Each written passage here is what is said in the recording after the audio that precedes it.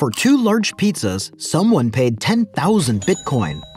Although the concept appears absurd now, this is thought to be the first Bitcoin transaction to ever take place in the real world. But do you know where the Bitcoin, or better, I should say the cryptocurrency, originally stemmed from? When American cryptographer David Chaum published a conference paper explaining an early type of anonymous cryptographic electric money in 1983, the concept of cryptocurrencies first came to light. The idea was to create a kind of money that could be distributed anonymously and without the need for centralized organizations like banks. Based on his original concepts, Chaum created the proto-cryptocurrency DigiCash in 1995. It required user software to withdraw funds from a bank and required specific encrypted keys before said funds could be sent to a recipient. Then Nick Szabo created BitGold in 1998, which is frequently seen as a direct forerunner to Bitcoin. Participants had to devote computer resources to solving cryptographic challenges, and those that did so were rewarded. However, without the aid of a centralized authority, Szabo was unable to resolve the famed double spending issue. Digital data could be copied and pasted, as a result, it took another 10 years before an unknown individual or group acting under the alias Satoshi Nakamoto launched the development of Bitcoin and other cryptocurrencies by disseminating a white paper titled Bitcoin, a peer-to-peer electronic cash system. The Bitcoin white paper, outlining the operation of the Bitcoin blockchain network, was released on October 31, 2008 by Satoshi Nakamoto.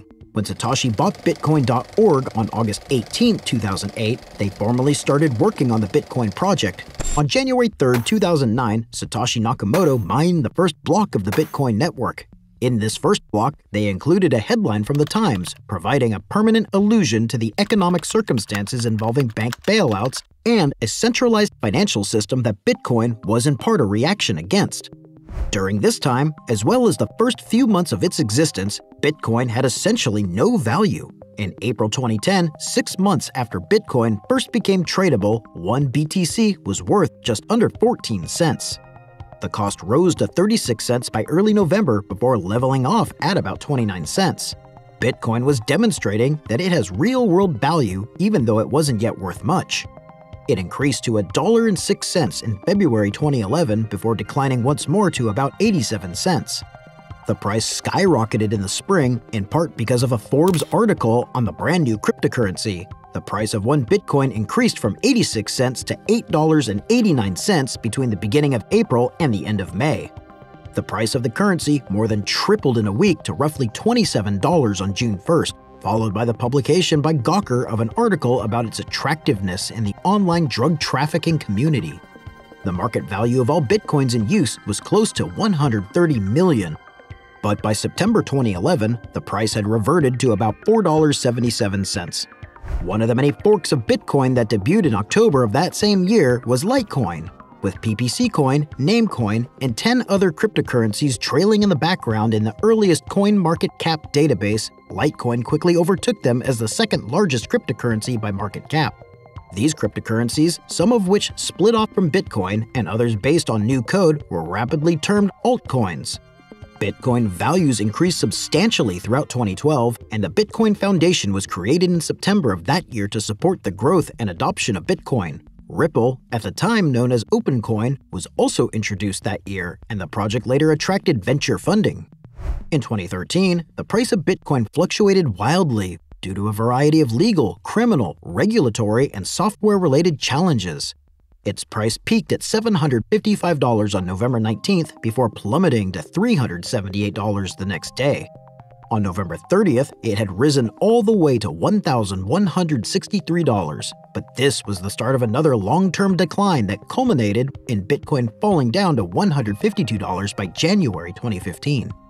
Although it's not its intended purpose, thieves find digital currency very alluring due to its anonymity and lack of centralized oversight. The largest Bitcoin exchange in the world at the time, Mt. Gox, failed and filed for bankruptcy in January 2014 after losing 850,000 Bitcoin. Although the specific circumstances are unknown, it's likely that the missing bitcoins were taken over time, starting in 2011, and then sold for cash on several exchanges until one day Mt. Gox checked their wallets and discovered they were empty. Even while the attack was not an isolated incident, it served as a lesson learned, and exchange security has significantly improved since then. Although smaller exchanges are still frequently breached, larger platforms now offer stronger guarantees on their reserve holdings. Crypto traders are encouraged to properly store their Bitcoin using a hardware or software wallet rather than an exchange. These kinds of wallets were not as widely available at the beginning of the cryptocurrency era. From $434 in January 2016 to $998 in January 2017, the price of Bitcoin increased steadily each year. A software update for Bitcoin was approved in July 2017 with the intention of supporting the growth of the Lightning Network, a Layer 2 scaling solution and enhancing security. In August, a week after the upgrade went into effect, Bitcoin was trading at about $2,700 and then soared to a record breaking high of slightly about $20,000 by December 17, 2017. At the same time, Ethereum, a brand new blockchain initiative, was creating waves in the cryptocurrency community. Since its inception in July 2015, Ethereum has quickly risen to the position of second largest cryptocurrency by market cap. It introduced smart contracts to cryptocurrencies, producing over 200,000 separate projects and offering up a wide range of potential use cases and still counting. But the price of Bitcoin was unable to maintain its record high of $19,783. Like Bitcoin, Ethereum was unable to sustain its current level for very long after reaching its own ATH of about $1,400 in January 2018. Due to security issues brought on by semi regular exchange hacks and financial regulations, the market as a whole fell, and by the end of 2018, Bitcoin was trading at about $3,700 prices didn't stay low for very long either. Beginning in late 2020, Bitcoin experienced a sort of revival, which was sparked by the statement made in August by the business intelligence company MicroStrategy that it had purchased Bitcoin for 250 million. This started a bull market, which spread to the rest of the market, and prices were further driven up by Tesla's early 2021 purchase of 1.5 billion in Bitcoin. The month of November of that year saw Bitcoin achieve its all-time high price of $69,000. Since this peak, the market has dropped once again, dragged down by macroeconomic worries brought on by soaring inflation, rising interest rates, and the threat of war. However, the corresponding decline of the cryptocurrency market in 2021 and 2022 demonstrates how closely tied the industry is to conventional financial markets. The underlying technology of all cryptocurrencies, blockchain, has the ability to transform many facets of our society despite the tempting and sometimes disastrous volatility of cryptocurrencies.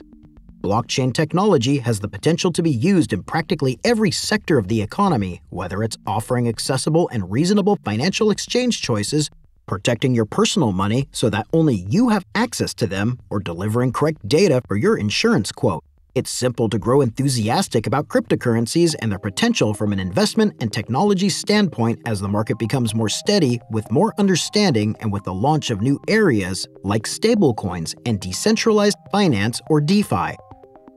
This brings us to the end of the video. If you liked the video, please consider subscribing and sharing so we can keep bringing more content like this. Also, let us know your thoughts in the comments below. See you next time!